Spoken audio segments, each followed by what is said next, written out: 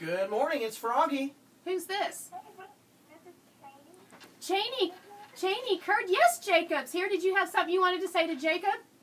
Yes, I do. Go right ahead. Yes, I would love to go to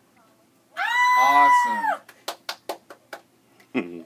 All right, well, there you go. Jacob and Cheney going to prom. Aw. Aww.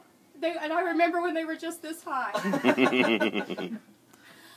Anything you want to say to, to, to Cheney there, Jacob? Cheney, I can't wait. It's gonna be a great time.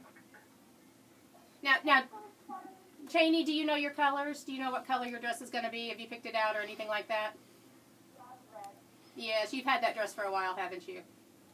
now, I have to ask you this. Did you know, did you have any idea that this was happening? I have no idea. So surprised. Now, you know Jacob has set the bar very high for any other guy that wants to ask a girl to prom, right? All right, well, you kids have fun and make sure you send us a prom picture. All right. All right, thank you, Cheney.